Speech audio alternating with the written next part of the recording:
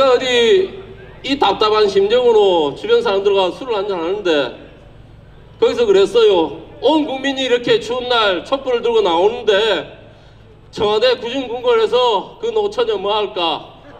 그러니까 누가 그럽디다. 테레비 보면서 슬피 울겠지. 지가 무슨 양심이 있어서 슬피 울겠냐 하니까 KBS, MBC 아침 드라마 보고 돌려보고 슬피 운답니다. 그때는 정말 그것이 그냥 술 안주로 그냥 가십거리로 웃고 치웠습니다. 그런데 지가 길라임이랍니다. 내가 그 길라임이 누군지 몰라서 인터넷 찾아봤어요. 하지원이랍니다. 감히 지가 그 얼굴로 하지원이한테 배락 맞을 짓이지요. 그래서 되겠습니까? 그 하지원이를 예쁜 하지원이를 문학의 블랙리스트에 자여놓고 지원차 길라임 하겠다는 얘기 아닙니까? 헌법을 보호하고 국민을 헌법을 사수하고 국민을 보호하겠다고 선서한 18대 대통령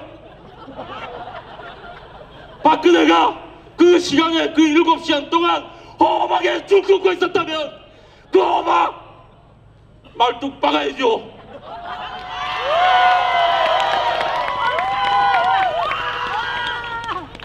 그 18대 대통령 얼마 전에 대국민 기자회견 합디다. 두 가지죠. 지는 떳떳하다. 지는 죄가 없다. 또 하나 국회 너끼리 졸라게 싸워라. 앞에 거부터 합시다.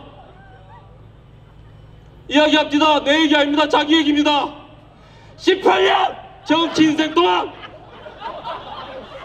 한치의 부끄러움 없고 국민과 국가를 위해서 사심 없이 살았답니다.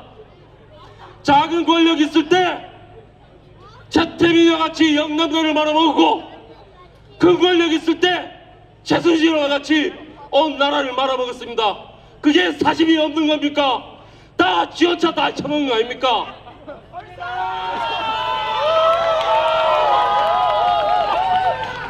저는 저, 저, 운안도에서 꽃장사 합니다.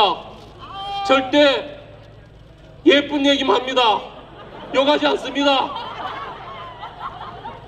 18대 대통령 18년 동안 한 번이라도 국민을 외워본 적 있습니까? 국민을 위해서 일해본 적 있냐고요? 우리 다 18년 동안 쏘아왔습니다. 그거 온 국민이 아는데 지원차 사실 없었답니다. 4년 전 이맘때 내 한 표, 내 한표 박근혜 안 찍으면 되지 하고 안일하게 생각한데 반성하고 반성합니다. 친구들이 박근혜 좋다고 찍을 때 그가 못 말리고 적극적으로 안 한 거 반성합니다. 우리 어머니 노령연금 20만 원 받는다고 박근혜 거 반대 안 한저 반성합니다.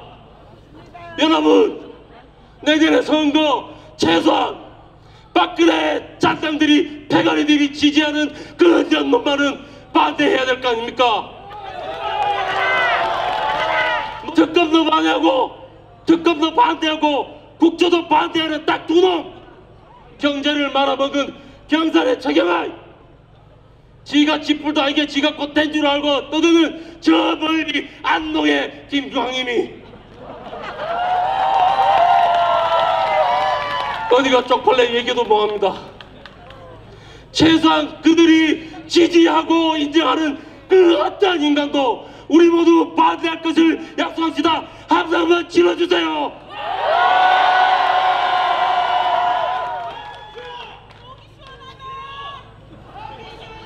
감사합니다.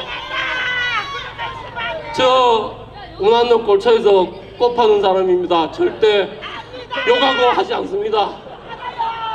누구는 그럽디다. 꽃이라도 사람 패지 말라고 장미하고 찔레하고 채찍을 만들고 싶은 심정입니다